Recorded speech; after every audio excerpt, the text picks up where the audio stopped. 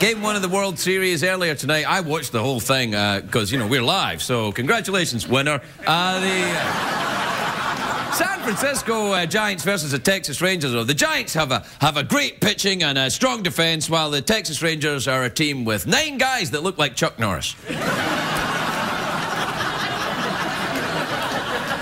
do. Uh-huh. Uh-huh. Well spotted, Jeff. Anyway, I like this World Series because with all the tension in the country right now, the World Series is refreshing. San Francisco versus Texas allows the whole nation to get together and hate each other for something other than politics. the Texas versus San Francisco is, is, it's a real culture class. It's a real red state versus blue state, meat versus tofu, trucks versus Priuses, um, yeehaw versus uh-uh. And, and then... Uh-huh. Uh-huh. The Texas Rangers play outside of Dallas, and I don't uh, need to tell you that San Francisco and, Dallas are very different, of course. So one's uh, known world over for uh, being full of gorgeous gay men, and the other one's San Francisco. I look forward to dodging your bullets. San Francisco and Dallas have some things in common, though. They both love their cowboys. But tonight's game in San Francisco. Tonight's game in San Francisco, uh, you could you could tell it was in San Francisco because during the seventh inning stretch they did Pilates. the stadium.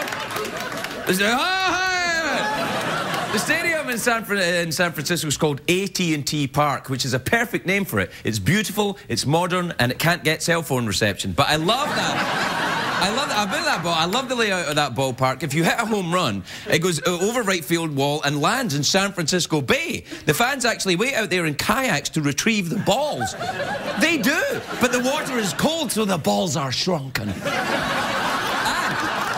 There, there, are sharks in, in, the bay too, and you don't want sharks nibbling at your balls, or maybe you do.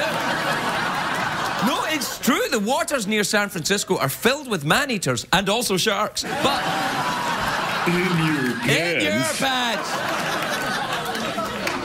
Anyway, tonight's starting pitcher for San Francisco uh, Giants is named uh, Tim Lincecum. That's how you say it, isn't it? Lincecum. He's an amazing big guy with long black hair. Do we have a picture of this guy? He's fantastic. There he is. Look at that.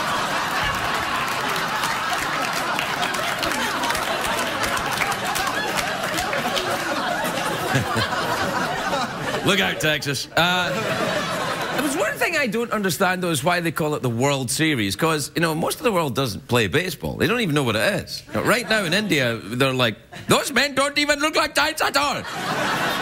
what are you talking about? I look forward to your letters from India.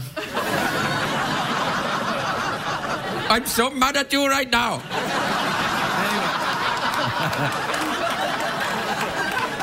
There have been some great movies about baseball, though. Bull Durham was about baseball. It's a great movie. Um, Major League. That's the one where Charlie Sheen's in it. Charlie Sheen's in Major League. He plays a baseball player who's reckless and out of control. What an amazing actor. How did he pull that performance? no. All right, that's enough. You know, that was a... Yeah, yeah, knock it off with that, all right? After all uh, Charlie Sheen's done for baseball, though, they should let him make an appearance at the World Series this year. Could, he was good in that movie. He could throw out the first pitch, then the first table, then the lamp.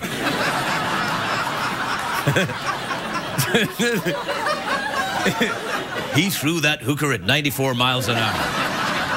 That's amazing. I'm glad I got the money up front. He shoots, he scores. Kind of, yeah. I, I love going to the baseball games, though. I always get one of those big foam fingers and, and do the wave to try and distract the guy on third base. It's like sex. He shoots, he scores. Uh, not necessarily.